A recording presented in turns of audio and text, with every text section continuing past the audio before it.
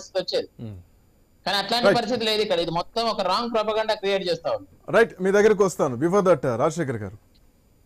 ఒకవైపు మరి ఇప్పటివరకు చూస్తున్నాం. ఎగ్జిట్ పోల్స్ ఎగ్జాక్ట్ పోల్స్ ఈ రెండింటి మధ్యలో చర్చ జరుగుతోంది. దీనికి తోడు కాంగ్రెస్ పార్టీ గవర్నమెంట్ ఫామ్ చేయబోతున్నాం.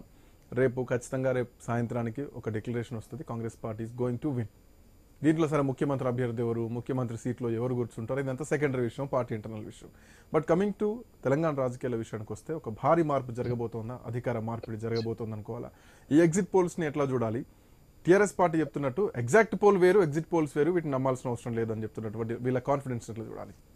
శ్రీకాంత్ గారు ముందుగా మీకు అలాగే ప్యానల్లో ఉన్న పెద్దలకి ఐ న్యూస్ వీక్షిస్తున్న ప్రేక్షకులకి నమస్కారం.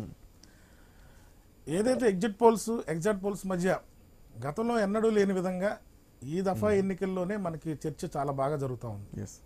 ఎందుకంటే గతంలో వచ్చిన ఎగ్జిట్ పోల్స్ బట్టి అప్పుడు ర్యాండమ్గా ఓహో ఈ పార్టీ గెలుస్తుంది అనుకుంటా అనేది అటు అధికార యంత్రాంగంలో కానీ ఇటు పార్టీల్లో కానీ ఒక డెసిషన్కి వచ్చేసే పరిస్థితి వచ్చేది ఎగ్జిట్ పోల్స్ రిపోర్ట్స్ చూడంగానే. కానీ ఈ దఫా మాత్రం ఎగ్జిట్ పోల్స్ మీద విపరీతమైన ట్రోల్స్ వస్తున్నాయి. మరి అది దాని హంగ్ అని ఒకళ్ళు కొంతమంది ఏమో అధికార పార్టీకి ఫేవర్గా కొన్ని ఏమో ప్రతిపక్ష కాంగ్రెస్ పార్టీకి ఫేవర్గా డిఫరెంట్గా వాళ్ళు ఎగ్జిట్ పోల్స్ రిజల్ట్స్ వచ్చేటప్పటికి ఈ కన్ఫ్యూజన్ అనేది ఏర్పడింది. మీరు అధికార యంత్రాంగం కూడా ప్రతిష్టంభన ఏర్పడింది. ఇదివరకు మనం చూసినప్పుడు మీరు అబ్జర్వ్ చేసి ఉంటారు.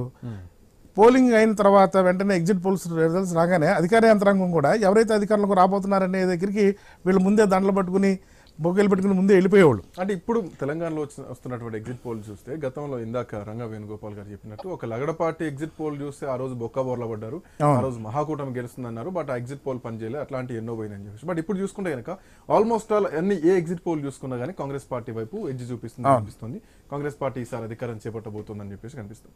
సో దీంట్లో ఎగ్జిట్ పోల్స్ అన్ని ఒకే మాట చెప్తున్నాయంటే కనుక ఖచ్చితంగా పార్టీ ప్రభుత్వం పైన కొంత వ్యతిరేకత ఉన్నది స్పష్టమవుతున్నట్టు కదా?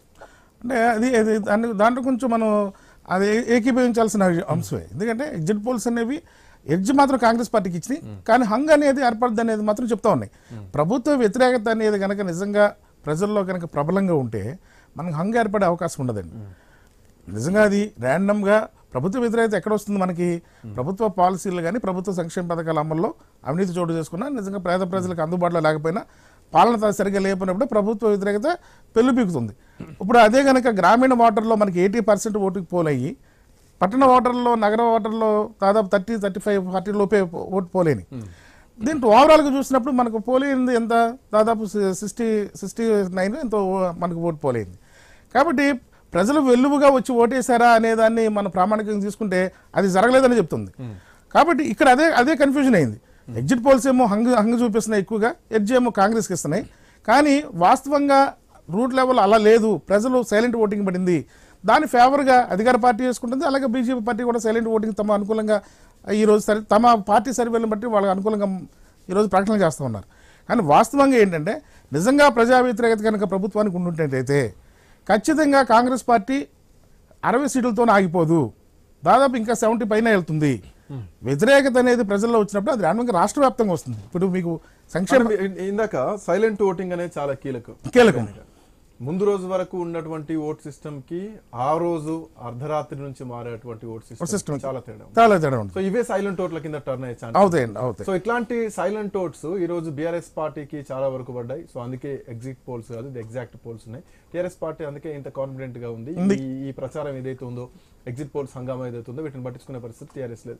సరే అంటే వాళ్ళు అవతవత భావనలా లేదంటే కాన్ఫిడెన్స్ చూపించుకుంటున్నారా? రెండు సార్లు అధికారంలో కాబట్టి ఓటమిని ముందే ఒప్పుకోవద్దు అనుకుంటున్నారా? లేదంటే ఒక కాన్ఫిడెన్స్తో మూడోసారి హ్యాట్రిక్ కొడతా ఉన్నట్టు భావన ఏదేమైనా కానీ.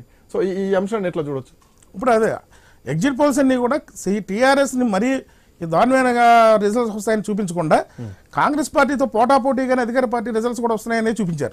దాంతోనే టీఆర్ఎస్ ఇప్పుడు ఏదైతే అధికార పార్టీ ఉందో దాని దాంట్లోనే ఆ కాన్ఫిడెన్స్ పెంచే విధంగా వీళ్ళ సైలెంట్ ఓటింగ్ అనేది మాకు అనుకూలంగా ఉంది. రిజల్ట్స్ కూడా మూడు నాలుగింటి వరకే తీశారు. శాంపిల్స్ అనేవి ఆఫ్టర్ ఫోర్ తర్వాత క్యూ లైన్లో ఉన్న ఓటర్స్ మీరు వాళ్ళ అభిప్రాయాలు తెలుసుకోలేదు కదా. అవన్నీ మాకు అనుకూలంగా ఉన్నాయి అనేది అధికార పార్టీ యొక్క భావన. At the same time Bharatiya Janata Party కూడా ఏదంటే ఒకసారి కాంగ్రెస్ పార్టీని ఆల్రెడీ చూసన్నారు మళ్ళీ రెండు రెండు రెండు దఫాలు బీఆర్ఎస్ని చూశారు. మార్పు కావాలని ప్రజల్లో ఉంది. అది గుమ్మనంగా వాళ్ళ తీర్పునిచ్చారు ఆ గుమ్మనమైన ఓటింగ్ భారతీయ జనతా పార్టీ వైపు వచ్చింది. ఆ మార్పు అనేది మా కోసం ప్రజలు మార్చుకున్నారనే ఉద్దేశం భారతీయ జనతా పార్టీ ఉంది. ఈ టోటల్గా కన్ఫ్యూజన్ ఏంటంటే హంగ్ ఏర్పడుతుంది ఎడ్జ్లో కాంగ్రెస్ ఉంది అనేది చెప్తున్నారు కానీ అబ్సల్యూట్గా ఒక పార్టీ అధికారంలోకి వస్తుందని ఏ ఎగ్జిట్ పోల్ కూడా చెప్పలేదు. దానివల్ల ఈ కన్ఫ్యూజన్ ఏర్పడింది. బీజేపీ నాయకులు ఒక మాట బీజేపీ నాయకులు అందరూ ఒక మాట